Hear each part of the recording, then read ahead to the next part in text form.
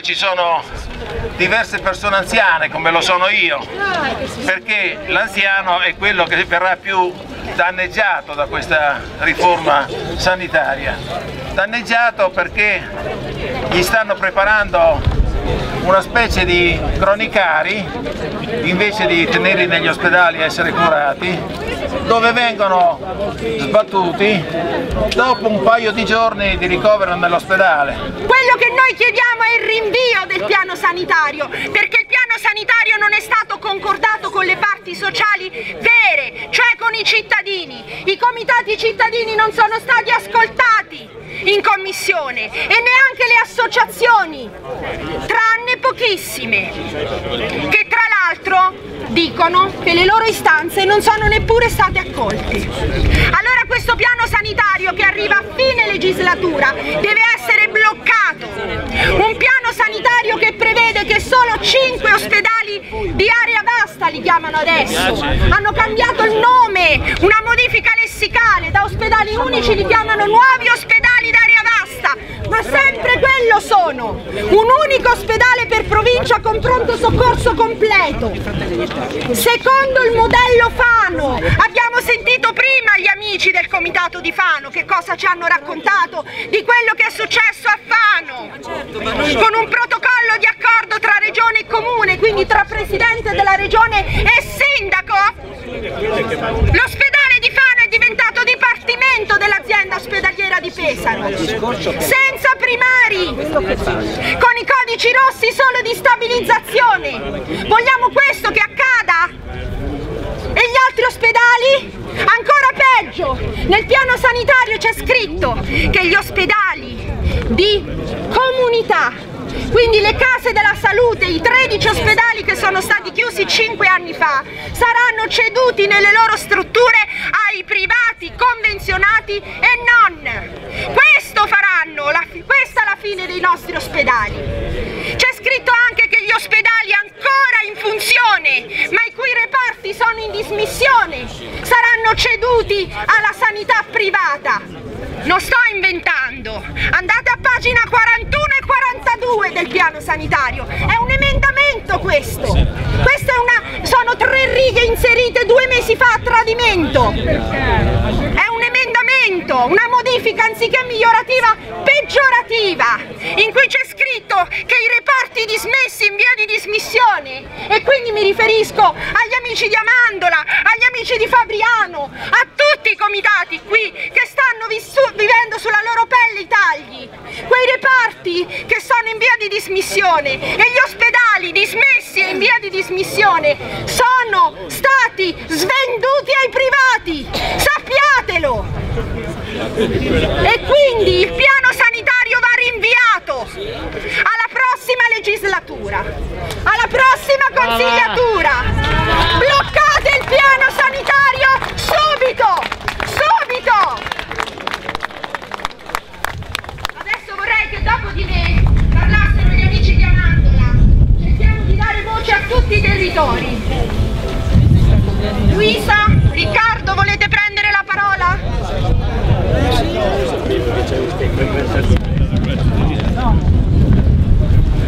L'ospedale di Amandola, faccio una breve sintesi, è stato un ospedale danneggiato dal terremoto, dal sisma. Bene, anziché ricostruire e sanare, hanno utilizzato il pretesto del sisma per declassarlo, per togliergli completamente anche quei punti di eccellenza che aveva e vogliono costruire una nuova struttura, un poliambulatorio a posto dell'ospedale. Chiamiamo le cose per il nome che hanno. anno. Il nuovo ospedale che vogliono costruire ad Amandola, costoso in project financing, non sarà un ospedale, ma un poliambulatorio. Vi passo la Presidente del Comitato d'Amandola aderente al Comitato regionale Prospedali Pubblici Marche. Buongiorno a tutti. Noi veniamo, come sapete, dal territorio montano. Devi forse delle pigiate. Buongiorno a tutti. Noi veniamo, come sapete, dal territorio montano dei Sibillini. Un vastissimo territorio che comprende 30 comuni con un bacino di utenza di circa 20.000 abitanti tristemente noto per gli eventi sismici del 2016. Il nostro gruppo proviene principalmente da Amandola, dove fin dal giorno successivo alla prima scossa sismica del 2016 è stato chiuso l'ospedale Vittorio Emanuele II. Una chiusura del tutto ingiustificata, in quanto sia l'ospedale di Amandola che la RSA, quest'ultima antisismica costruita nel 2008, potevano e potrebbero ancora essere recuperati e migliorati sismicamente con una cifra inferiore, badate bene, al milione di euro.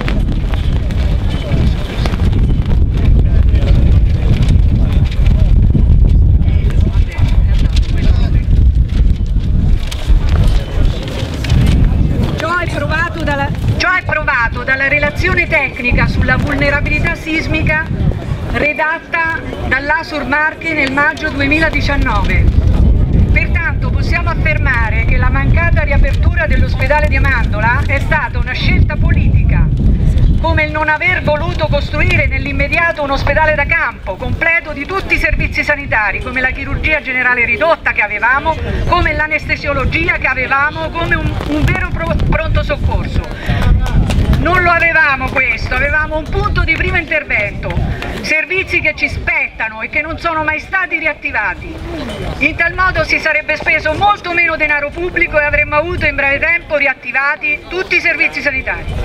Unica eccezione a questo sperpero, il servizio di dialisi, che per fortuna è stato riportato in modo eccellente nel nosocomio del Vittorio Emanuele II di Amandola, mentre altri servizi sono rientrati in modo del tutto parziale, come la diagnostica.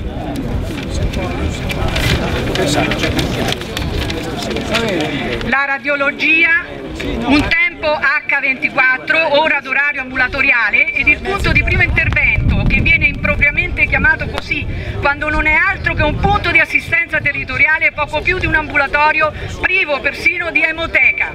L'emergenza urgenza, urgenza, eh, urgenza scusate, vengono quasi sempre dirottate all'ospedale di riferimento di Fermo a 60 km di distanza costringendo il malato ad estenuanti trasferte con familiari al seguito su strade pericolose, specie d'inverno.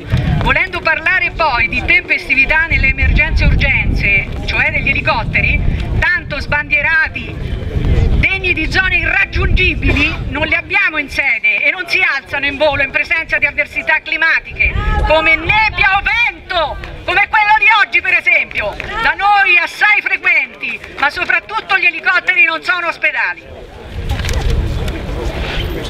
La drastica riduzione assistenziale avvenuta nel post terremoto, cosa cosa peraltro paradossale, ha determinato la rinuncia da parte di molti, per lo più anziani, a curarsi o a fare prevenzione. Anche per questo da oltre tre anni assistiamo nel territorio dei Sibillini all'iperbolico innalzamento dell'indice di mortalità. Assistiamo impotenti ad uno stillicidio con inevitabili ricadute economiche che vanno a colpire un territorio la cui tutela non è più sorretta dalla forte trama del tessuto sociale che avevamo. Con la chiusura degli ospedali dell'entroterra il progetto ASUR ha avuto una forte accelerazione per cui assisteremo allo stravolgimento della peculiarità territoriale marchigiana e contemporaneamente all'accentramento sanitario che determinerà inevitabilmente la desertificazione dei territori dell'entroterra. Brava! Bene! сегодня. мы A noi di Amandola e Sibillini hanno promesso un nuovo ospedale con una spesa di 18 milioni 800 mila euro, denaro insufficiente per avere un ospedale completo di tutto. La nuova struttura infatti sembra che non avrà un vero pronto soccorso, né una chirurgia generale ridotta, né una rianimazione. Quindi la nuova struttura sanitaria, tanto sbandierata dai nostri amministratori, non potrà chiamarsi ospedale! In nessuna maniera! Stante così le cose avremo invece un cronicario con poliambulatorio annesso. Pertanto noi for temiamo fortemente che oggi con l'approvazione del nuovo piano sociosanitario il territorio dei Sibillini e quindi anche l'ospedale che andrà a sorgere fra qualche anno ad Amandola finiscano per appartenere a zona particolarmente disagiata. In tale zona, invece di vedere aumentati i servizi sanitari come vorrebbe la logica, diverrà legge l'attuale declassamento.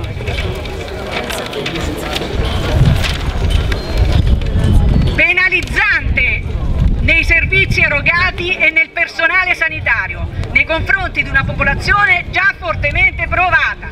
Noi cittadini dei Sibillini ci uniamo quindi a tutti voi per gridare forte no a questo piano sociosanitario, anche a nome di chi non è potuto essere presente, ma avrebbe voluto, anche a nome di chi ha avuto timore di essere qui. Chiediamo piena tutela della salute, un diritto oggi messo a nostro avviso seriamente a rischio. Quindi per cambiare il nostro destino è chiaro che occorre impostare l'amministrazione sanitaria con una visione lungimirante e propositiva.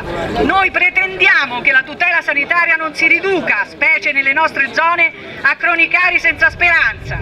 Abbiamo diritto anche noi ad un futuro propositivo che assicuri tutti i servizi di una sanità che resti pubblica, equa, equa, soprattutto equa, anche laddove pochi hanno eroicamente scelto di rimanere, a tutela di un magnifico territorio, per l'interesse di tutti. Certamente. Eh, per favore se c'è Guardate, io voglio aggiungere una cosa. È bello vedere tutti i colori politici. In questa, ecco, è bello vedere tutti, essere tutti insieme per uno scopo unico. Io lo dico sempre, la disabilità, per quanto mi riguarda, eh, non conosce colore, colore, politico e vedere tutte queste bandiere di tanti, di tanti partiti a me sinceramente fa piacere. Per favore, per favore se c'è qualche rappresentante di Senigallia. Sì, Massimo. Nessuno si vuole prendere il primato. Eh, chi si potrebbe ecco. Aspetta Massimo, anche, anche noi del comitato di Senigallia siamo anche noi del comitato di Senigallia siamo qui oggi a protestare a protestare contro questo modo di gestire una sanità che oramai sta diventando sempre più volta al privato, lasciando spazio a quello che dovevano essere invece gli interventi pubblici. Questa non è una battaglia di civiltà, questa, ricordiamolo, è una battaglia dei territori ed è una battaglia della vita. Qui la gente si sta dimenticando, piegata al denaro, di quelle che sono le esigenze e i pericoli che ognuno di noi sta vivendo quotidianamente. Questo vale per i territori dell'entroterra, ma, ma, questo, vede, ma questo uh, vale anche per coloro che vivono in realtà, come quella di Senigallia, che nel periodo estivo si riempiono. E nonostante questo hanno dei tagli in quanto distribuiti i servizi su tutto quanto un territorio molto più vasto. Oggi ringrazio tutti quanti voi perché intanto ci date la forza di andare avanti in quanto siamo tanti e spero che saremo sempre di più. E l'importante è non dividerci tra singoli territori ma poter creare una rete unita, unita che colleghi tutte le marche e che dica no a questo nuovo sistema, no a questa sanità sempre più privata e sempre più pubblica, sì ad un rinvio verso coloro, eh, a un rinvio dopo che praticamente ci saranno i nuovi rappresentanti della, della, nostra, della nostra, popolazione, quindi anche i nostri rappresentanti. Grazie a tutti quanti voi. Bravo, così bisogna fare la rete. Presa lei? Grazie. Eh, adesso c'è qualcuno che vuole intervenire. Ah ecco Alessandro, vieni. Buongiorno a tutti, siamo pochi ma buoni, diciamo. Niente, io sono il rappresentante del Comitato Tutela Sanità di Pesaro, siamo in pochi perché i pesaresi sono abbastanza anestetizzati dalla, dall'alone di Ricci, eh, il quale, qui ci sono i, i, socialisti, ma il quale dà assessori ai socialisti, quindi non so eh, il motivo della loro presenza niente, noi abbiamo inviato una lettera a Speranza, io gliel'ho consegnata nelle mani con un dossier su tutte le criticità dell'ospedale unico di Pesaro. C'è arrivata una risposta, non di Speranza, ma della Presidenza del Consiglio dei Ministri, dove si dice che il DIPE non ha mai dato parere favorevole, riconosce le criticità economiche. Mi chiamo Alessandro Di Mari e, e sono rappresentante del Comitato Tutela Sanità eh, di Pesaro. E il DIP, quindi la Presidenza del Consiglio dei Ministri, riconosce le criticità sia a livello economico sia a livello idrogeologico della costruzione dell'ospedale unico a Muraglia. Quindi se anche Roma, la stessa maggioranza di governo qui rappresentata da Ceriscioli non dà parere favorevole alla costruzione dell'ospedale unico di Pesaro, io dico qui dentro si sta riunendo il consiglio regionale o il consiglio d'amministrazione del PD o il bilancio o si sta costruendo il bilancio del PD allora l'Arenco che costruirà l'ospedale unico a Pesaro è in crisi, eh, si sta svendendo tutti i villaggi turistici, per cui il nostro eh, presidente Amato qua dentro ne, ne, ne, ha fatto visita varie volte con voli pagati dalla regione. Eh, sì, il socio che aveva i gasdotti si è staccato e quindi l'Arenco deve risanare le sue casse con i soldi dei cittadini, è chiaro e eh, costruisce l'ospedale unico a Pesaro cosa che non serve perché noi non vogliamo contenitori, noi vogliamo contenuto, vogliamo personale, vogliamo macchinari e questi macchinari devono essere sempre accesi. Loro ne hanno avuto di opportunità per potenziare, è stato decreto Calabria per aumentare il 5% il personale sanitario, non l'hanno ricepito. È chiaro, nelle Marche, nel sud delle Marche stanno spuntando cliniche private come i funghi. Vi chiedete perché? Le convenzioni stanno aumentando. Vi chiedete perché? Qui siamo nella logica democristiana della prima repubblica che dobbiamo fare sempre favori agli amici degli amici. Basta con questa logica, basta. La sanità è pubblica, deve rimanere pubblica. Sì, sì, pubblica, la salute non si tocca. Tutti devono avere l'opportunità, l'articolo 32 della Costituzione, è stato citato, deve raggiungere tutti la sanità. E quindi noi diciamo no a Pesaro, siamo in pochi perché i pesaresi non si rendono conto della catastrofe che gli sta arrivando. Loro dicono noi abbiamo l'ospedale unico nella città, ma non si rendono conto che eh, aumenterà lo smog, che le case verranno svalutate, ma eh, lo capiranno. E quindi noi non seguiremo altri esempi come quello che è stato fatto con l'ospedale dell'Angelo in Veneto dove ancora sono in crisi ed è la regione che sta più bene. È un ospedale costruito con il budget financing sta dando problemi alla regione Veneto. Quanti problemi darà la nostra regione questo ospedale, questo ecomostro io vorrei far ragionare su questo e niente, ho finito. Grazie mille.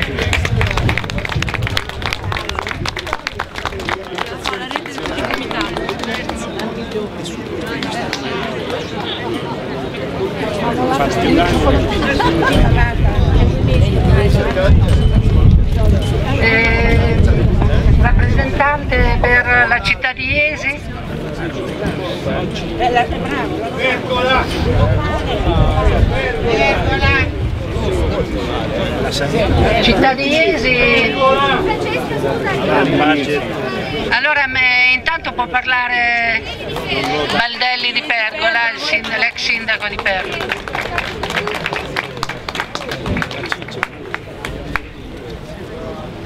Grazie, grazie, a tutti, ma soprattutto grazie al comitato. Io dico che a tutti i comitati che compongono il comitato regionale pro ospedali pubblici va rivolto un grande applauso perché sono stati gli unici a indire un sit-in contro uno scellerato piano sanitario regionale che cancella il diritto alla salute non solo delle aree interne e dell'entroterra, ma anche dei cittadini della costa, perché col piano sanitario regionale che è in approvazione quest'oggi si crea un imbuto che non permetterà nemmeno ai cittadini della costa di avere servizi adeguati di assistenza ospedaliera degni del secondo millennio e di questo dobbiamo ringraziare sicuramente Ceriscioli che si è messo a capo di alcune lobby, lobby private che vogliono smantellare la sanità pubblica a favore degli interessi dei privati e questo non lo possiamo accettare. Non si può accettare, no. Ma sia chiaro, l'ho sempre detto da sindaco della mia città che vede il suo ospedale smantellato. Un cittadino di Pergola è come un cittadino di Amandola, il cittadino di Amandola è come il cittadino di Fossombrone, il cittadino di Fossombrone è come il cittadino di Caglie di Civitanova. Noi non accettiamo che la politica e i privati ci mettano i piedi sulla testa perché siamo persone libere.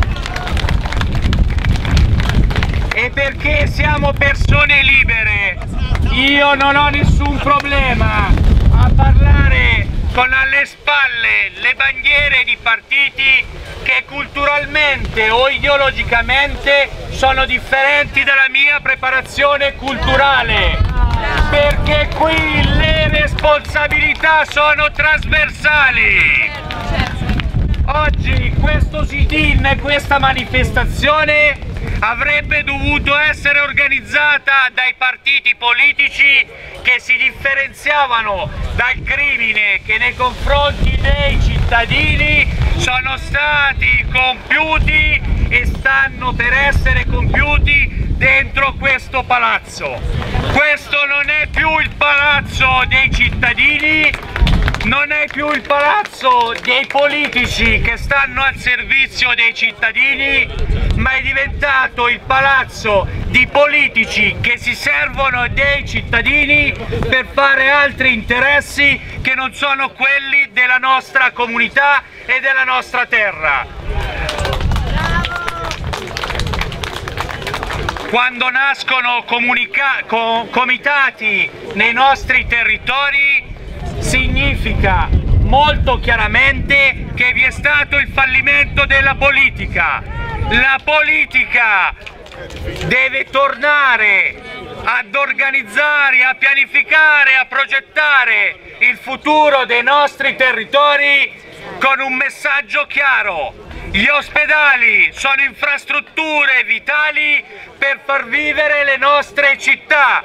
Senza diritto alla salute non c'è città che esista, non c'è giovane che rimarrà sulle nostre montagne o nelle nostre colline. Allora, viva la democrazia e che i cittadini si riprendano questo palazzo che torni ad essere la culla della civiltà marchigiana e non la culla delle società private della sanità. Cacciamo Ceriscioli ma cacciamo in tutti i partiti quei personaggi che si sono venduti per contributi elettorali e non alla sanità privata. Grazie a tutti!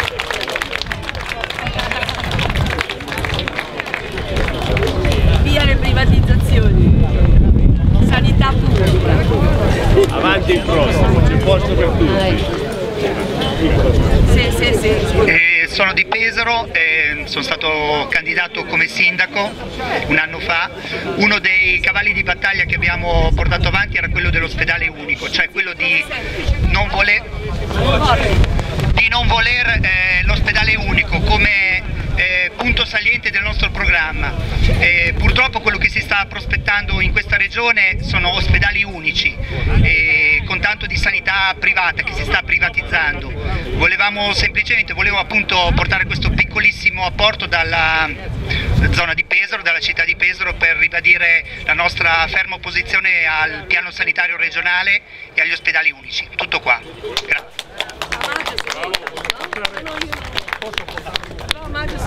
Prego, ci mancherebbe. Sì, eh, Prima o poi arriva anch'io sono di Pesaro e deve andare via. e co- condivido, sono anch'io sono di Pesaro, condivido tutto quanto detto fino ad ora e vorrei solo portare una mia esperienza personale. Da noi eh, quando ci sono le emergenze con le lungaggini delle prenotazioni e via si va in Romagna, noi siamo dei grandi migratori romagnoli.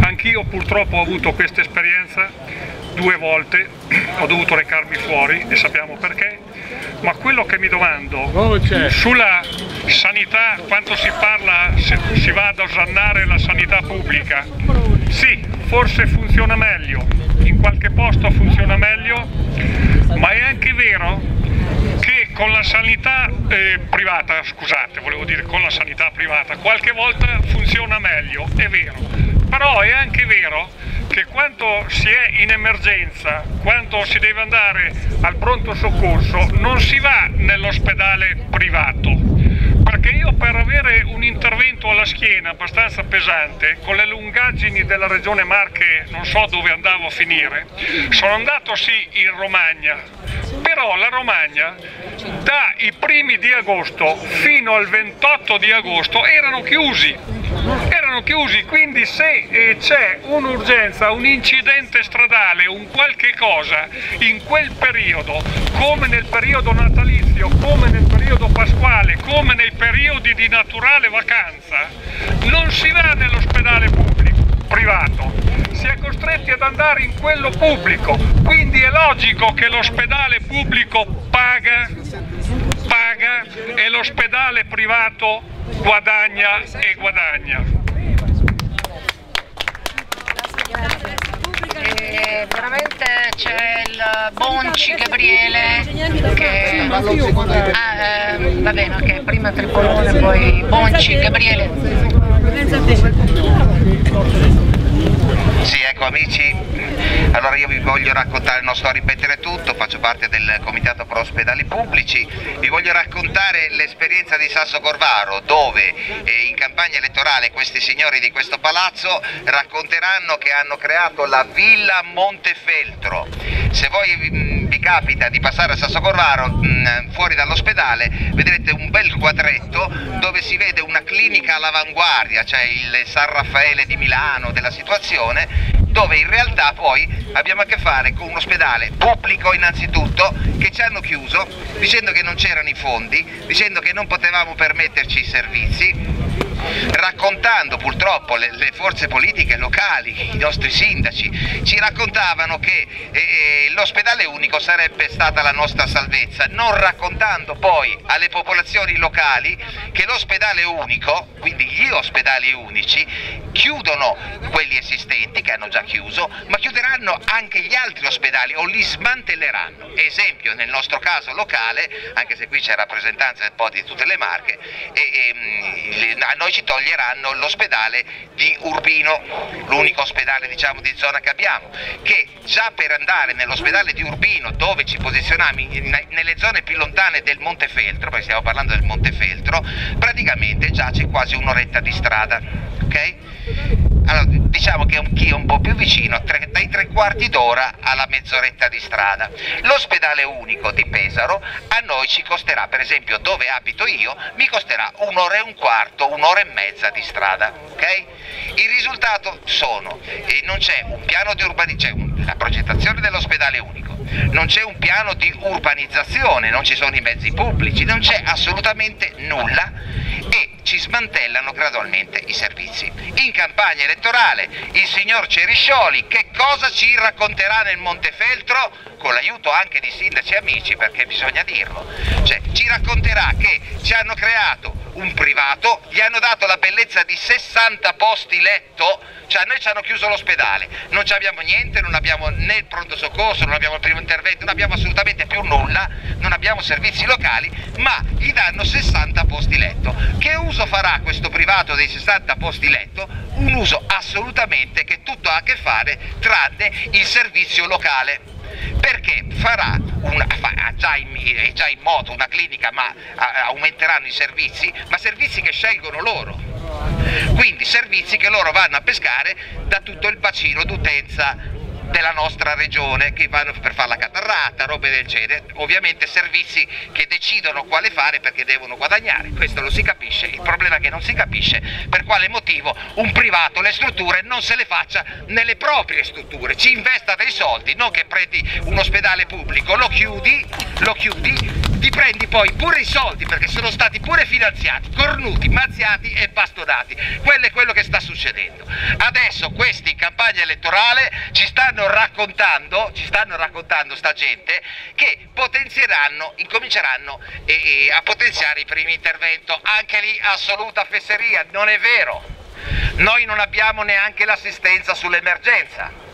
Noi chiediamo da anni, ci stiamo ammazzando per chiedere quattro cose, noi non chiediamo chissà cosa alla Luna, sappiamo benissimo che gli ospedali degli entroterra non possono essere certo paragonabili agli ospedali di riferimento che non dimentichiamo, Pesaro, Urbino nella nostra provincia, ma tutti gli altri paesi, cioè quelli delle città sono anche i nostri ospedali di riferimento e anche nostro interesse degli entroterra che funzionano e siano efficienti ma gli ospedali unici non possono essere la soluzione perché tolgono risorse, tolgono assolutamente risorse, la sanità la dobbiamo avere tutti, negli entroterra abbiamo dei problemi, innanzitutto per gli anziani, gli anziani non possono essere sbattuti a due ore da casa senza un mezzo pubblico, noi il nostro comitato piangono i telefoni, piangono i telefoni di gente anziana che non sa come fare, come fare a raggiungere ci sono i malati, ci sono gli handicappati, ci sono gente che hanno problemi e questi qui ci stanno raccontando fesserie e lo devo dire qui davanti a tutti, non soltanto le maggioranze, anche le opposizioni devono essere chiare perché ci stanno parlando di sanità domiciliare, di assistenza domiciliare che ci preoccupa perché l'assistenza domiciliare, sappiatelo, lo leggerete nei programmi della maggior parte dei partiti, andate a vedere quello che c'è da tutte le parti, del sud escluso, si parla di assistenza domiciliare, dimenticando dimenticandosi di parlare degli ospedali, perché se tu mi vai a accudire un anziano a casa mi sta anche bene, ma tu mi dai anche l'ospedale perché quell'anziano non può essere messo in mano a un infermiere. Quell'anziano deve essere diagnosticato da dei medici ospedalieri e quando quell'anziano sta male dall'ospedale ci va avanti e indietro, così voi me lo state condannando a morte. Vi accompagno serenamente a casa vostra nel vostro letto perché nei nostri anziani sta succedendo questo, stanno rinunciando alle cure. Abbiamo i nostri figli, i nostri nipoti, scusate, mi sentivo ancora più giovane, ma sono vecchio pure io. Abbiamo i figli dei nostri figli che hanno paura a partorire. A Urbino, a Urbino, quindi a un'oretta da casa, ti ricoverano. Quando hai anche un primo, qualsiasi problema, ti ricoverano. E tra i ricoverati chi c'è? Tutta la gente che gli hanno chiuso gli ospedali. Ma immaginatevi una cosa, Urbino ci arrivi, ripeto, parlo di Urbino ma vale per tutti, dai 45 all'oretta, ma se vai a Pesaro e sei incinta e devi partorire, a te ti, tu, ti, tu ti fai praticamente da un'ora a un'ora e mezza. E con quali strade? Dove sono i mezzi pubblici? Allora mi urbanizzi allora qui non si urbanizza, non, non, non, si fa assolutamente nulla e si promettono i palazzi perché? Perché si fanno delle scelte sui numeri, quei maledetti numeri che in una regione di pochissimi abitanti dovremmo guardare anche un altro parametro. Allora io cosa dico se dobbiamo fare i parametri? Chiudiamo tutto in questa regione, perché allora noi siamo un milione e mezzo, ci sono regioni che sono molto di più, allora andiamo a fare la sanità solo in altre regioni, scusate. Questo è il concetto. Il concetto è questo, che dobbiamo avere tutti gli stessi diritti. Noi da anni chiediamo il minimo, il minimo chiediamo, che poi sostanzialmente è inutile farla difficile. È quello che avevamo nel 2015 quando ci hanno chiuso la sanità, sostanzialmente. Più o meno vogliamo ritornare lì, quindi è sostenibile, neanche dire che non è sostenibile, anche perché tutti questi soldi che trovano per il privato, tutti questi fondi e questi debiti che noi avremo per gli ospedali unici, ma chi li paga e per quanti anni? Non potremmo sistemare la sanità? E allora perché non mi vanno a vedere la mobilità passiva? Per quale motivo noi ce ne dobbiamo andare in Romagna? Il Montefeltro se ne vuole andare in Romagna e tutto l'entroterra, le zone montane della media e bassa Marche se ne vogliono andare in Umbria. Questo è il risultato che voi state andando a fare sui territori. Non vi basta che avete già perso dei comuni che erano favolosi ci siamo persi già un pezzo di territorio e qui la gente se ne vuole andare, andate avanti così, prendetevi pure i voti ma non avrete più la gente perché state spopolando gli entroterra, avrete il deserto avrete, ok? Ricordatevelo questo là dentro in quel palazzo, votate pure la manina dei vostri interessi, ok? E se eravamo in un altro paese dico pure di più, secondo me era anche illegittimo che un privato si metteva dentro una struttura pubblica, il privato si vada a fare investimenti nelle proprie strutture. Se gli va bene, bene, altrimenti se ne vadano a fare le strutture dall'altra parte, dove hanno quei maledetti numeri, perché noi abbiamo bisogno del servizio. L'ultima parola. Non solo avete demoralizzato le persone, la gente ormai non ce la fa più, è entrata in depressione, qui dovevamo essere un sacco di persone, siamo in tanti, ma non come a sufficienza parlando di sanità, qui non c'è il leader, non ci sono sardine, non abbiamo il Salvini, non abbiamo nessuno, qua siamo cittadini normali e qualche forza politica d'opposizione, che ringrazio tra l'altro. Allora il discorso è questo, dobbiamo svegliarci, dobbiamo riprenderci i diritti, è un consiglio, la telecamera grazie, è un consiglio che do a tutti quanti, è un consiglio che do politico proprio, ovviamente non è una dichiarazione di voto, il consiglio che, che do, controllatevi le vostre forze politiche e pressatele perché i programmi regionali, attenzione che se non si fa nulla, i programmi regionali secondo me non garantiranno quello che noi stiamo chiedendo. Grazie. Bravo. È Gabriele Bonci del comune di Fussombrona. Sindaco. Sì, buongiorno a tutti. Eh, io vi ringrazio, voi che siete qui presenti, come dicevo poco fa Gaetano siamo in pochi rispetto a quelli che dovremmo essere, ma siamo più della volta scorsa, quindi già secondo me è un bel passo in avanti, vuol dire che cominciamo ad aprire tutti gli occhi. Io sono sindaco da tre anni e mezzo, da tre anni e mezzo che dico che questo piano sanitario non va bene. Non va bene perché la nostra regione, la nostra provincia in particolare non può permettersi un ospedale unico con le strade disastrose, come diceva Gaetano devi fare un'ora per trovare un ospedale. È una follia, è una follia l'ospedale unico, è una follia quello che costa, nessuno ci ha mai dimostrato i vantaggi di avere un ospedale unico rispetto al potenziamento e al recupero dei piccoli ospedali. Ci hanno chiuso Fossombrone, Cagli e Sasso Corvaro, con il risultato che Urbino più vicino. Con il risultato che Urbino oggi al collasso, Fossombrone è diventato un cronicario in cui ancora per fortuna alcuni servizi ci sono, ma Cagli e Sasso Corvaro non c'è praticamente più niente, quindi del privato non possiamo fidarci. Non siamo contrari al privato a prescindere, purché offra servizi paralleli, integrativi, non può entrare nei nostri ospedali costruiti con i soldi dei nostri genitori, dei nostri nonni, dei nostri e offrire quei servizi che la sanità pubblica ufficialmente non è più in grado di offrire, ma non lo vuole offrire, perché in realtà i soldi per loro ci sono, ma poi il privato chi lo controlla? Per quanto tempo? Ho parlato con un medico per le protesi, mi diceva che quando fa visite per i privati su 10 ginocchia ne prescrive 8, quando lo fa per il pubblico ne prescrive 2. Questa cosa poi chi la verifica, chi ce la controlla, per cui ripeto, contrarietà al privato, l'ospedale unico, quello che diciamo già da sempre. Un'altra cosa grave, tanto queste cose poi sono state già dette, noi come sindaci di Area Vasta siamo stati convocati nel novembre del 2018, è passato più di un anno. Eravamo 23, una metà, ma sui 23-22 abbiamo chiesto di, rinviare, di rivedere il piano sanitario convocando tutti i sindaci, nessuno ci ha mai convocati. È più di un anno che non ci sta sentendo nessuno, per cui evidentemente il parere dei sindaci non gli interessa, però siamo noi che siamo stati eletti da voi per cui sarebbe giusto che noi fossimo interpellati. Quindi loro vanno avanti per la loro strada e ne stanno pagando le conseguenze. Fra pochi mesi se andrà a votare sicuramente pagheranno il conto. Grazie.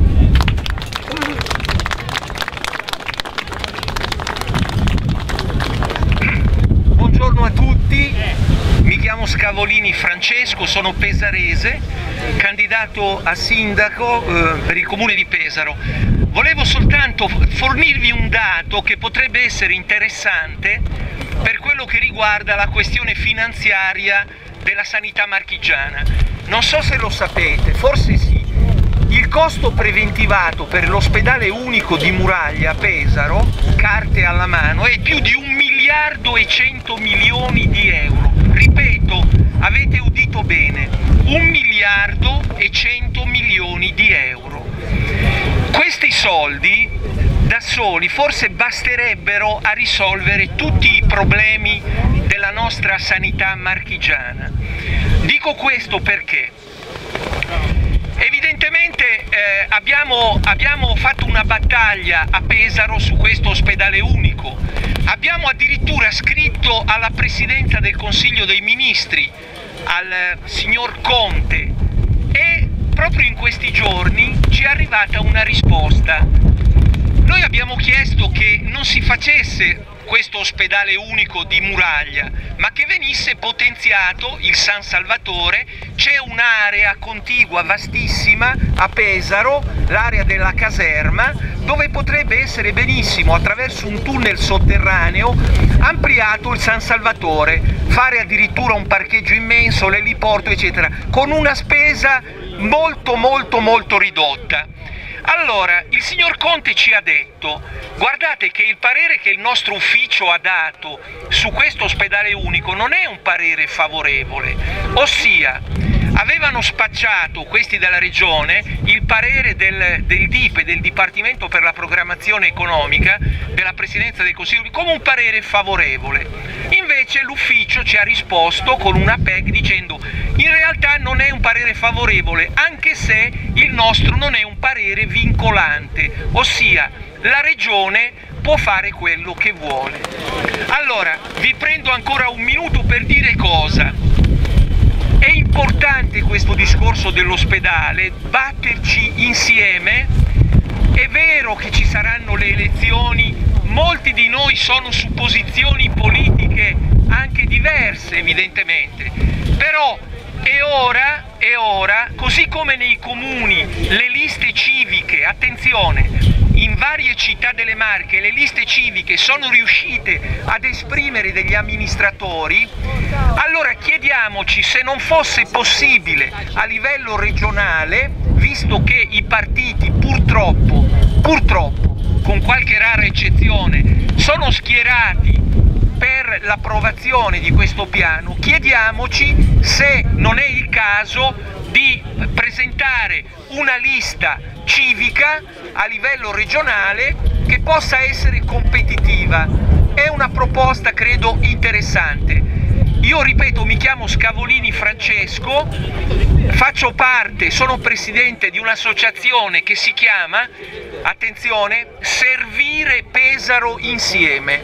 Potete trovare su Facebook tutte le referenze, le nostre proposte Ecco, credo che sia, questo non è, non è, propaganda che sto facendo, ma è un discorso politico, perché se rimaniamo, continuiamo a essere divisi all'interno dei vari gruppi, non si risolve niente, i soliti noti avranno la meglio. Un'ultima cosa, questo miliardo e cento milioni, attenzione, avete udito bene, un miliardo e cento milioni di euro, chi li mette questi soldi? Attenzione, la società Renco, una multinazionale che ha presentato il progetto approvato dalla giunta Ceriscioli, attenzione, non sborserà un centesimo. Voi mi direte, ma cosa dici? È un project financing, quindi è il privato che dovrà costruire questa struttura. Bene, io vi dico e ripeto, questa multinazionale non sborserà un centesimo, perché? Perché all'inizio dei lavori il 50% sarà anticipato dalla regione, cioè da noi, dai contribuenti. Nel frattempo l'Arenco che cosa potrà fare? Attenzione, potrà andare in banca, oggi sapete che i tassi di interesse sono bassissimi, ok? Allora l'Arenco potrà prendersi un bel mutuo in banca nel frattempo da subito, magari investire i soldi, visto che è una multinazionale, in paesi dove i tassi di interesse sono altissimi, e ve ne sono, e a questo punto intascarsi il frutto di, di questi investimenti. Dopodiché applicherà i soldi che ha guadagnato, nel frattempo la Regione Marche che avrà dato anche una garanzia sul mutuo, attenzione, la Renco accenderà un mutuo ma la fideiussione la darà all'ente pubblico, quindi ragazzi questi sono discorsi importanti. Un... Oh, un'ultima cosa davvero poi chiudo perché sto esagerando, a Mestre Venezia andate pure su internet Mestre Venezia hanno costruito un ospedale con lo stesso sistema di project financing che la Regione Marche vuole adottare per gli ospedali unici, costo totale 1 miliardo e 700 milioni, sono in crisi anche in Veneto, il ricchissimo Veneto. E noi vogliamo imitare questa vergogna eh, per un ospedale unico, per gli ospedali unici, stanno piangendo anche in Veneto per questo. Quindi cari politici, se ci ascoltate mettetevi una mano sulla coscienza e rinviate, rimandate questo piano. Ecco, perché la gente veramente è stanca. Grazie. C'è qualcuno che vuole parlare? Sindaco! Non c'è nessuno! Ci sono liste lunghissime quando uno va a chiedere un appuntamento eh, Posso? Allora, io sono un cittadino di Fossombrone. Allora voglio ricordare a tutti i presenti che hanno chiuso tanti ospedali, questa giunta ha chiuso tanti ospedali nel 2015 nel 2015 senza aver mai fatto un piano economico dietro, il che vuol dire che gli ospedali non è vero quello che ci hanno fatto credere, che gli ospedali erano chiusi per mancanza di fondi. Gli ospedali non sono stati chiusi perché mancavano i soldi. Gli ospedali sono stati chiusi per una scelta politica di un partito e non si capisce in base a quale criterio. Le soluzioni che adesso pone questo partito quali sono? Quello di far trasferire le popolazioni tutte verso il mare, spopolando eh, l'entroterra, perché nell'entroterra stanno togliendo tutti i servizi, a cominciare dall'ospedale, sovraffolliamo la costa con dei costi enormi per tutti e un abbassamento della qualità del tenore della vita. Quindi scelte di questo tipo che eh, danneggiano tutta la popolazione, i risultati di questo lo vedremo soprattutto nel futuro, quando la gente dalle campagne sarà costretta ad andarsene perché non ha più i servizi. Nel frattempo si sta finanziando una, eh, le, le ditte private nel settore della medicina. Se è vero, come ha detto quello che ha parlato prima di me, che l'ospedale di Pesaro viene a costare un miliardo e cento milioni, vuol dire che tutti i cittadini della Marche, solo per pagare quell'ospedale, devono mettere mille euro a testa e questo è assolutamente assurdo, mentre i vecchi ospedali che hanno sempre funzionato vanno lì, c'è un declino di questi ospedali abbandonati con tante strutture utili che possono essere usati. Queste scelte economiche sono assurde. Basta. Grazie, bravo. Non parla nessuno? Raccontate pure, raccontate l'esperienza perché voi... Eh. Io parlo a nome del comitato di Iesi, il nostro presidente dentro in giunta. Eh, a Iesi succede quello che succede un po' dappertutto, avendo chiuso gli ospedali periferici tutto si è riversato su Iesi, per cui lista di attese assurde, eh, tempi indecenti per prendere visite eccetera. Ma quello che noi indigna più di tutto è il fatto che a fronte di questi tagli vengono in realtà eh, aumentati gli incentivi per i dirigenti, per cui la sanità è diventata un'azienda, come in fondo si chiama azienda, al pari di una banca o di qualsiasi altra impresa, mentre sulla salute non si scherza viceversa, la salute è un bene primario per eccellenza. Io tralascerei eh, il colore delle bandiere, rosso, bianco, non è questo che conta, eh, la salute è trasversale, è democratica, riguarda tutti e non riguarda soltanto gli anziani come è facile pensare, no? gli anziani perché hanno i vari acciacchi, disagi eccetera, ma io penso anche ai giovani che purtroppo non sono coinvolti o non si sentono coinvolti, perché avremo un sistema sanitario nel quale ammalarsi sarà un privilegio e curarsi sarà un privilegio e questo è assolutamente indecente perché la salute è pubblica. Una parola vorrei spenderla a questo punto per il personale. Il nostro motto di IESI è prendiamoci cura di chi ci cura. Non è un comitato che va contro qualcuno, non è un comitato che ha nemici, è un comitato che vuole promuovere il dialogo, la, la, la, la, collaborazione, soprattutto con quelle persone, mi riferisco al personale ospedaliero, che lavorano sopra le forze, perché vengono ridotti, eh, aumentati i turni, ridotte le ferie, accorpati le parti e si prendono veramente cura della nostra salute. Ci sono o non ci sono, a questi personali vorrei fare un grosso applauso, perché giornalmente combattono in trincea, sopra le forze, sottopagati, perché l'ospedale è diventato un'azienda e non si occupa più di tutelare il diritto primario, fondamentale, costituzionale che è la salute.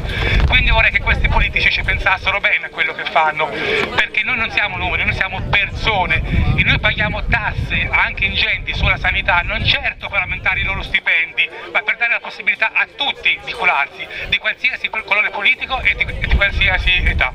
A Iesi succede questo, purtroppo non succede niente di diverso che in altri ospedali. Sono molto contento che il problema sia sentito a livello regionale perché è inutile farsi guerra tra poveri, non è che Iesi ottiene qualcosa a scapito di Fabriano o viceversa, dobbiamo essere tutti quanti uniti, impegnati, fare voce unica e far vedere dignitosamente che siamo ancora capaci di indignarci, nonostante ci tengano disinformati. Basta, non altro da dire. Grazie a voi. Un applauso veramente ci tengo a farlo, non so se sono presenti o meno gli infermieri, tecnici di laboratorio e medici, io lavoro in ospedale, li vedo quale abnegazione, con quale coraggio si prendono cura veramente di noi. E noi vorremmo prenderci cura di loro e combattere anche per loro, perché so che non, non tutti sono disposti a metterci la faccia, visto che sono dipendenti posso anche comprenderli, quindi spetta anche a noi dare una mano a loro. Sono in sofferenza pure i medici, in sofferenza perché cioè, se un reparto viene tagliato sì, fanno turni doppi, non fanno le ferie, esatto, e lavora sopra le forze. Però lav lavora sulle persone, non lavora sui numeri e questa è la differenza. Benissimo, allora buona giornata a tutti, grazie per essere intervenuti perché l'unione alza questo, l'unione fa la forza, in questo momento abbiamo bisogno di tanta unione e tanta forza. Eh, io più di così, eh, la voce ce l'ho. Eh. Il microfono vicino alla bocca. A Fano, a Fano, no no ma non è l'emozione, è l'apparecchio. A Fano siamo seriamente preoccupati quando non stiamo bene perché non sappiamo come andrà a finire, non abbiamo più la forza, la certezza e la sicurezza di, di poter essere curati come un tempo e se questo se l'ospedale, se la, eh, il documento che è la delibera 523 firmata dal Presidente della Regione e dal Sindaco di Fano deve essere il modello per tutti gli ospedali delle Marche, beh allora dobbiamo essere veramente preoccupati in tutte le Marche. Io vi leggo quello che vi voglio dire per essere più sintetico perché la storia di Fano e dell'ospedale di Fano è molto lunga. Si sta sentendo male il Presidente. Aia, sì, adesso capo, anche il Presidente. Si sta sentendo male. Allora, scusate il vento. Fano, Fano l'ospedale Santa Croce di Fano un tempo era un riferimento molto importante non solo per la città ma per la vallata del Metauro e per, la, per, parte della vallata del Cesano, anche per Pesaro e per chi veniva da fuori regione perché Fano era un ospedale che funzionava molto bene, che c'erano le eccellenze ed era un riferimento veramente forte. Ad oggi Fano c'è rimasto ben poco, ben poco è una scatola più o meno semivuota. Se questo è il riferimento, se questo è il modello per tutta la regione, noi non dobbiamo stare qui, ma dobbiamo andare lì dentro, lì dentro a farci sentire, perché ci stanno togliendo il diritto a curarci. In questo momento stanno firmando la morte della sanità nelle Marche, non solo a Fano, e questo non lo dobbiamo permettere, non lo possiamo permettere perché la salute è molto importante e Ceriscioli e il suo PD e i suoi partiti lo devono capire. Scusate. Ma dentro non ci potremmo andare? Aspettiamo qua, andiamo dentro, no? Il Presidente della Regione e il Sindaco con questo accordo forse non si sono resi conto che l'ospedale di Fano da ospedale è diventato stabilimento ha perso il suo nome e la sua facoltà di essere un ospedale. All'interno è rimasto poco più che qualche suppellettile, qualche sedia e qualche letto per qualche ricovero in day hospital. All'ospedale di Fano è stata tolta la chirurgia H24 di urgenza e quando non c'è questa specialità l'ospedale non si può più chiamare ospedale pronto soccorso, perché è inutile che vi dica che i primari non sono più a Fano, sono a Pesaro. Noi abbiamo vissuto in questi anni, abbiamo ascoltato parole o documenti scritti dove il Presidente della Regione diceva che un eventuale cambiamento, ma solo un eventuale cambiamento ci sarebbe stato con la costruzione del cosiddetto ospedale unico che noi non vogliamo, non vogliamo. Invece lo smantellamento c'è stato prima che venisse messo un mattone di questo fantomatico ospedale unico. Non ci sono più i reparti se non qualche pseudo reparto o qualche stanza che cercano di far passare ai cittadini fanesi come reparto, ma non è così perché voi lo sapete meglio di me che quando i primari non sono più presenti non possiamo più chiamarli reparti, quel poco che c'è rimasto. Un'altra farsa è quella del pronto soccorso, scusate un attimo, mi si era bloccato il dito. Un'altra farsa è quella del pronto soccorso, cercano di far passare come codice rosso il pronto soccorso di Fano intasato già dagli ospedali che hanno chiusi. Il codice rosso è stabilizzazione, attenzione a queste parolone che loro scrivono nei loro documenti che dicono tutto e niente, bisogna capirle bene. Il pronto soccorso di Fano, il codice rosso di Fano è di stabilizzazione, significa che un paziente che ha bisogno di essere stabilizzato perché in codice rosso viene inviato a Pesaro. Quindi, allora io direi che ho, ho terminato, è inutile dirvi che, che il modello è lo smantellamento di tutti gli ospedali per la costruzione degli ospedali unici, che non è altro che un interesse, una lobby legata a tanto miele che c'è su quei mattoni. Dobbiamo essere chiari perché questa è la verità e questo è l'interesse. C'è tanto miele in quei mattoni. Grazie.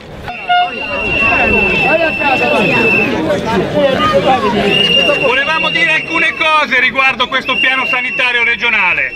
Vi chiediamo di ascoltare qualche secondo le nostre critiche a questa vergogna che sta accadendo nel nel palazzo, nel, nel palazzo, regionale, un palazzo che dovrebbe tutelare i diritti delle persone e invece dimostra anche con questo atto di stare dalla parte del profitto e, del, e dei privati.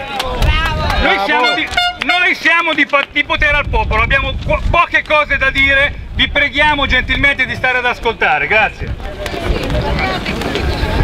Allora, in questo palazzo in questo momento sta avanzando la logica secondo la quale la salute è... Eh, io ho la voce. Non si sente! Io la voce più di questa non ho. Nel palazzo in questo momento sta avanzando la logica secondo la quale la salute è sempre meno un diritto ed è sempre più un bene da acquistare sul mercato. Come siamo arrivati a questo? Facendo decadere progressivamente le strutture pubbliche, sia ospedaliere che territoriali, perché stanno male anche distretti sanitari, consultori e tutte le strutture che avevano promesso che avrebbero potenziato, ma non l'hanno fatto. Per le aziende private che drenano ricchezza pubblica nelle loro casse è un business epocale. Per contro il sistema sanitario nazionale viene progressivamente svuotato della garanzia dei diritti universali alla cura, all'assistenza a familiari disabili, alla prevenzione. Vengono espropriati i diritti di tutti in favore del profitto di pochi. Quello che potere al popolo chiede è l'esatto contrario, curare secondo il diritto e non secondo il reddito. Attraverso lo svuotamento del servizio sanitario pubblico passa più facilmente l'idea che lo Stato non possa garantire efficacia delle cure. Non è vero. Non è vero perché il privato deve anche fare profitto su, sulle azioni che fa, mentre il pubblico può reinvestire tutto nei servizi. Gli ospedali quindi vengono chiusi, utilizzando la politica dell'algoritmo. Le liste di attesa si allungano e al cittadino non resta altro da fare se non rivolgersi al privato.